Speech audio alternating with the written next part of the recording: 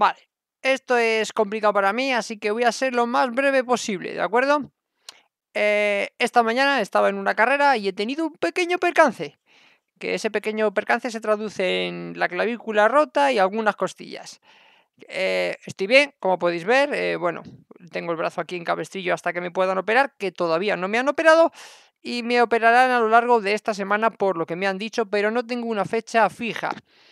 Eso quiere decir dos cosas. Una, que voy a estar con el hombro roto hasta que me puedan operar. Y dos, que no voy a poder grabar, evidentemente. Así que me voy a tomar unas vacaciones forzosas, pero unas vacaciones.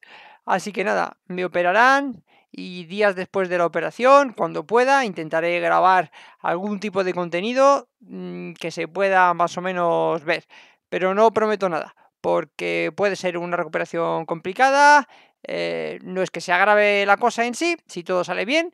Así que bueno, como he dicho, no me quiero alargar. Simplemente comunicaros que si veis que en el canal estamos un poquito bajos de vídeos, ¿vale? que veis que el contenido no aflora, es básicamente porque o me han operado, o me estoy operando, o estoy eh, recuperándome, ¿de acuerdo?